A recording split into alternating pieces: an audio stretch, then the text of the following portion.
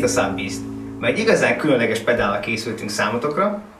Megérkezett az első Kastéder Custom Shop basszus pedál, amiről nekünk Albert fog mesélni. Szevasz Albert! Hello! Mi is ez a pedál? Mit tud? Hát kérlek szépen, két-három hónappal ezelőtt elkezdtem egy teljesen új szériát, egy ilyen limited edition custom shopos szériát csinálni. Ezek nem teljesen saját ötleteken Mhm, alapuló mhm. pedálok. Más pedálok ötletei Kicsit alapján, továbbgondolása? kicsit, hát kicsit tovább gondolása, de nagyon minimális belenyúlással, szóval, Aha. szóval ö, nem egy teljesen új ötlet, hanem, hanem inkább egy ilyen, egy ilyen ötszörös idézőjelvet kopi. Ennek a pedálnak az alapja, hogyha már mondtad, hogy ez Igen. valamihez köze van, Igen, igen, igen. kiindul. Igen, az első ilyen limited edition széria az a Paul Cochran Timmy pedálja volt, és uh, amikor csinálgattam azokat a, azokat a pedálkákat, akkor, akkor volt egy olyan fejlődésem, hogy, hogy ki kéne próbálni basszusgitáron. Gondoltam, egy három másodpercet megér, bedugom, pengetek rajta kettőt, és Aha, kiderül, kiderül, hogy, milyen. hogy, hogy mi történik. És abból a három másodpercből lett egy óra, és akkor úgy voltam vele, hogy ebből érdemes volna egy, egy, egy basszus pedált is csinálni. Így indult ennek a pedálnak a története, és akkor kicsit a frekvenci tartományát a gitár verziónak eltoltam ugye a, a mélyebb tartományok felé, a basszus tartomány felé, és ebből lett gyakorlatilag ez a kis szépség. Hát megnézzük, hogy Igen. Még annyit, hogy, hogy uh, ahogy mondtam, és sokat beszélgetünk erről a pedálról, hogy igazából egy clean drive, talán ez a legjobb szó rá. igen, igen. Nem igen. nyúl bele annyira a hangkarakterünkbe, viszont ad egy ilyen szőzt, egy ilyen dögöt a hanghoz, ahol már nem egyből motorhead van, igen, hanem igen, egy ilyen igen. nagyon finom, finom szöveti torzítást kap maga a Igen, basszus hangszín, amit én, én nagyon szeretek, és szerintem ez egy hiánypótló pedál jelenleg a piacról. Úgyhogy nézzük is meg, hogy ez hogy működik. Jó, oké, hajrá. Megnézzünk pár beállítást, csak előtte Albert elmondja nekünk, hogy melyik potméter mit csinál fontosan. Igen, ugye ő az előbb volt róla szó, hogy ez a Timi pedál alapján készült. A potik gyakorlatilag ugyanazok. Uh-huh. Tehát van egy hangerő potink, van egy treble potink, egy magas potink, egy bass potink és egy drive potink. Illetve van egy háromállású kis kapcsolónk, amivel a torzításnak a szövetét, a kompressziót tudjuk állítani. A középső állásban a legnyíltabb, a legkevésbé kompresszáltabb a hangunk, a két szélső állásban pedig, pedig egy sűrűbb ö, szövetű torzítást kaphatunk.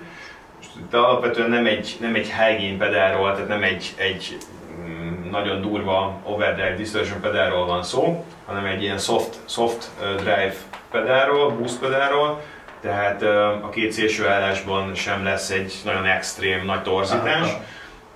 Egy kicsit, kicsit másabb lesz a, a, a szövete a hangunknak. Annyi lenne még a kérdés, hogy a magas és mély poti a standard EQ-ként funkcionál-e, vagy mint egy high pass és low pass filter?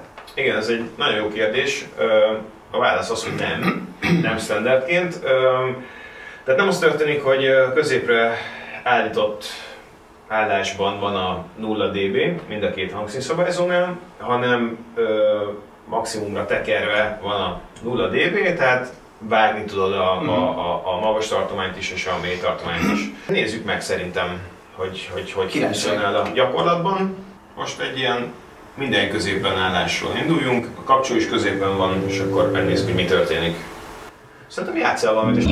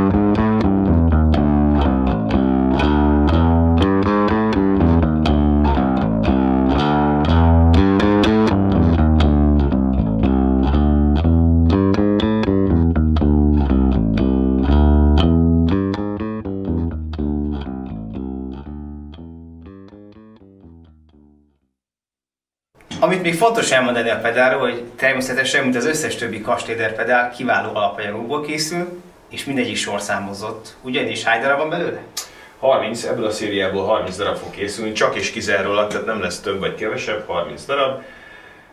Uh, Ultra Limited Edition, mint láthatjátok, ez a 01-es darab. Tehát már csak 29 darabotok van, mert ez az enyém. Összefoglalva, ez a pedál nem csak búszolásra és torzításra jó, hanem hogyha csak arra lenne szükségetek, hogy egy pici testet adjunk a hangnak, de a karaktere ne változzon a hangzásodnak, csak kicsit ez a testesebb, ütősebb hangkarakter jelenjen meg a soundodban, ez a pedál kiváló választás lehet. Köszönjük szépen, hogy megnéztétek ezt a videót, köszönjük Albertnek, hogy befáradt hozzánk, Én is köszönöm. találkozunk hamarosan. Szevasztok!